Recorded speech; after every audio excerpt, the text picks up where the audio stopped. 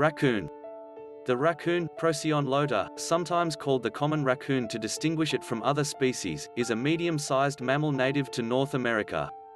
It is the largest of the Procyonid family, having a body length of 40 to 70 centimeters, and a body weight of 5 to 26 kilogram. Its grayish coat mostly consists of dense underfur, which insulates it against cold weather, Three of the raccoon's most distinctive features are its extremely dexterous front paws, its facial mask, and its ringed tail, which are themes in the mythologies of the indigenous peoples of the Americas relating to the animal. The raccoon is noted for its intelligence, as studies show that it is able to remember the solution to tasks for at least three years. It is usually nocturnal and omnivorous, eating about 40% invertebrates, 33% plants, and 27% vertebrates. The original habitats of the raccoon are deciduous and mixed forests, but due to their adaptability, they have extended their range to mountainous areas, coastal marshes, and urban areas, where some homeowners consider them to be pests. As a result of escapes and deliberate introductions in the mid-20th century, raccoons are now also distributed across much of mainland Europe, the Caucasus, and Japan. Though previously thought to be generally solitary, there is now evidence that raccoons engage in sex-specific social behavior.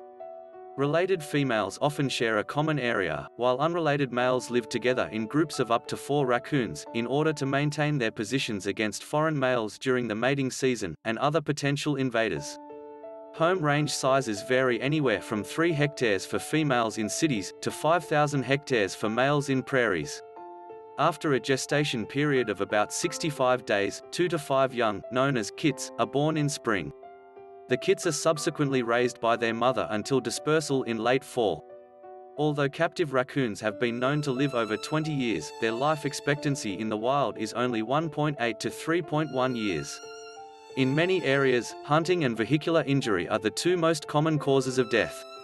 Description Head to hindquarters, raccoons measure between 40 and 70 centimeters, not including the bushy tail which can measure between 20 and 40 centimeters, but is usually not much longer than 25 centimeters. The shoulder height is between 23 and 30 centimeters. The body weight of an adult raccoon varies considerably with habitat, making the raccoon one of the most variably sized mammals. It can range from 5 to 26 kilograms, but is usually between 5 and 12 kilograms. The smallest specimens live in southern Florida, while those near the northern limits of the raccoon's range tend to be the largest. Males are usually 15 to 20% heavier than females. At the beginning of winter, a raccoon can weigh twice as much as in spring because of fat storage. The largest recorded wild raccoon weighed 28.4 kilograms and measured 140 centimeters in total length, by far the largest size recorded for a procyonid. The most characteristic physical feature of the raccoon is the area of black fur around the eyes, which contrasts sharply with the surrounding white face coloring. This is reminiscent of a bandit's mask, and has thus enhanced the animal's reputation for mischief. The slightly rounded ears are also bordered by white fur. Raccoons are assumed to recognize the facial expression and posture of other members of their species more quickly because of the conspicuous facial coloration and the alternating light and dark rings on the tail. The dark mask may also reduce glare and thus enhance night vision. On other parts of the body, the long and stiff guard hairs, which shed moisture, are usually colored in shades of gray and, to a lesser extent, brown.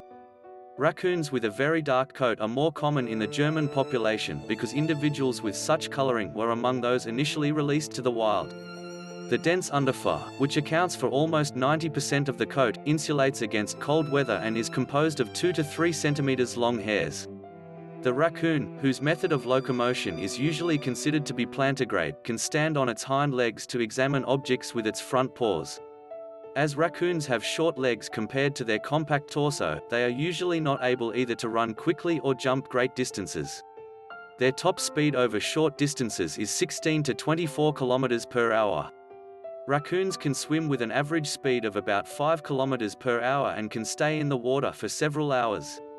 For climbing down a tree headfirst, an unusual ability for a mammal of its size, a raccoon rotates its hind feet so they are pointing backwards.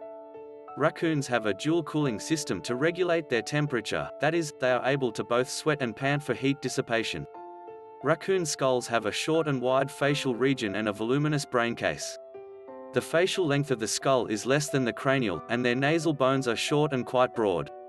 Seven of the 13 identified vocal calls are used in communication between the mother and her kits, one of these being the bird-like twittering of newborns. Senses. The most important sense for the raccoon is its sense of touch. The hypersensitive front paws are protected by a thin horny layer that becomes pliable when wet. The five digits of the paws have no webbing between them, which is unusual for a carnivoran. Almost two-thirds of the area responsible for sensory perception in the raccoon's cerebral cortex is specialized for the interpretation of tactile impulses, more than in any other studied animal. They are able to identify objects before touching them with vibrissae located above their sharp, non-retractable claws. The raccoon's paws lack an opposable thumb, thus, it does not have the agility of the hands of primates.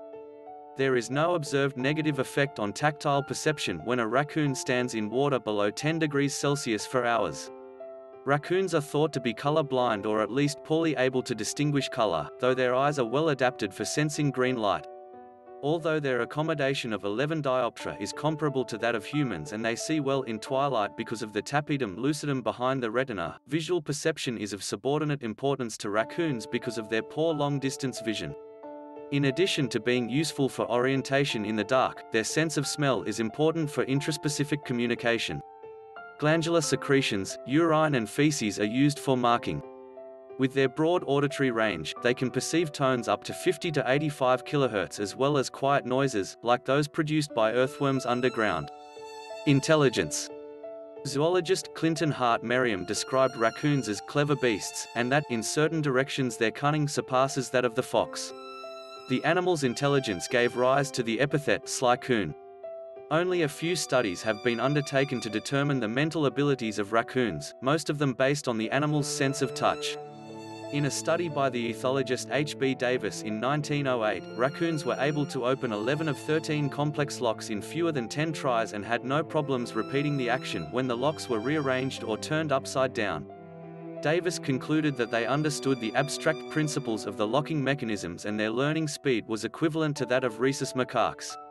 Studies in 1963, 1973, 1975 and 1992 concentrated on raccoon memory showed that they can remember the solutions to tasks for at least three years.